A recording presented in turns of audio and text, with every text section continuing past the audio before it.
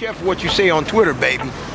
Trust me when I say that. Oh, good. Let him hate it. Let him hate it. Send those haters. Let him go get a hug.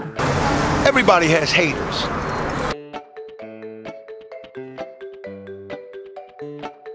I heard Twitter was a stupid place that people just talked about what they wanted to have for lunch, and I said, well, that's where I belong. Because I like lunch too.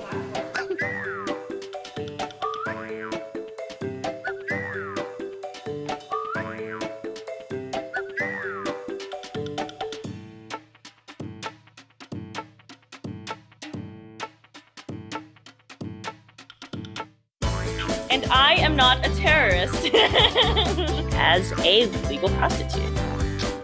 And I love Twitter. I have a great story about Twitter, the power of Twitter, Twitter love. My laptop got stolen and I posted one tweet saying how upset I was with it and distraught. That one tweet started my followers to raise money for me to buy me a new laptop. And I engraved all their names on my new laptop.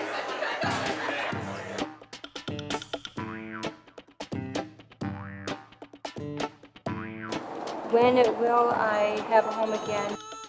You want it to happen now, and it's, you know, after so long, you start to wonder, will it ever?